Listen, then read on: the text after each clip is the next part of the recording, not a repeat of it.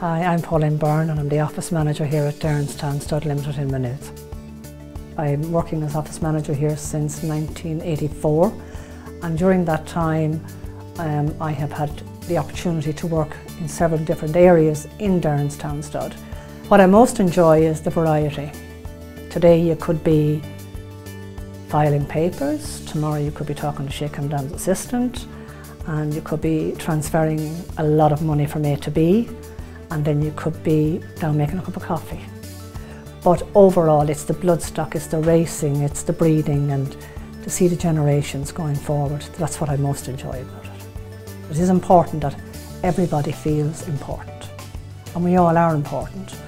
I might be mucking out, I might be pushing the pen, both jobs have to be done. It is a nice place, it has to be, but whether you call it a highlight, every day is a highlight. You know, there's no one thing that you can say, well, it was better. It was better. Everything from day one has been a joy to work in Derrinstown. To be nominated for the Stud and Stable Staff Awards is an honour because it's not something I would have expected, the least of the thing in my mind.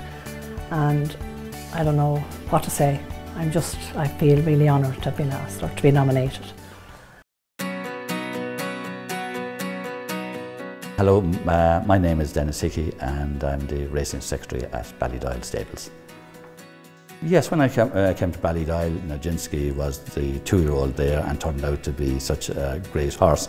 And just passing his statue every morning just reminds me of, say, when I started work at Ballydoyle. So sometimes maybe you want to try and forget the number of years put in rather than but uh, no, no, I, I, you, you know, I mean, it was a great time. I've enjoyed my time at Ballydoyle and I've had, you know, been here for such uh, amount of success and met so many lovely people here and, you know, so many nice people that down through the years, even maybe away from Ballydoyle that you, you know, that you're in correspondence with you know, other that you might never have met or, you know, spoken to if you were in another career or another job.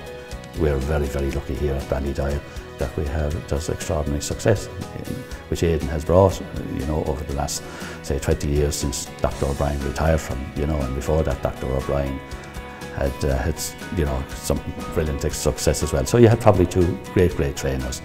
Uh, the highlights of my 47 years at Ballydoyle would have been, uh, say, coming when Nijinsky was a two-year-old, uh, he winning the Triple Crown, uh, Giant's Causeway, he was such a brilliant racehorse, tough as boots, and Yeats winning the Gold Cup, and with my son David looking after him, I to get great pleasure. You know, I loved Yeats, and uh, you know, it just made it maybe a bit extra special for me.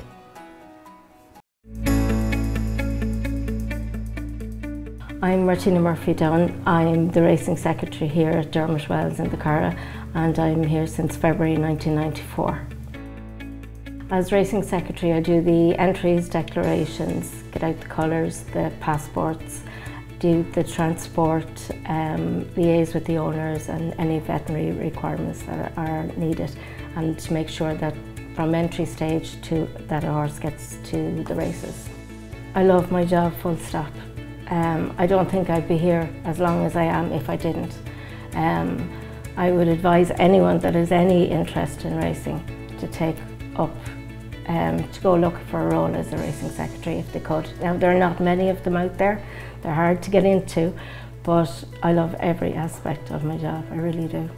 There's a great team here and we all pull together, we all work together and we're all friends at the end of the day. And I think everybody looks out for one another.